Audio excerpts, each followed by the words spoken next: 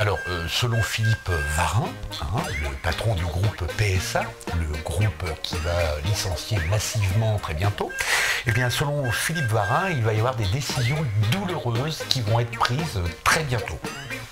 C'est vrai, Philippe? Alors, c'est quoi? On peut savoir? Allez, donne-nous l'exclusivité. Allez, dis-nous, Philou, Philou, allez, dis-nous. Hein? C'est quoi les décisions douloureuses? Tu vas descendre ton salaire. C'est ça? Tu vas descendre? Oh là tu vas passer au SMIC pour donner l'exemple.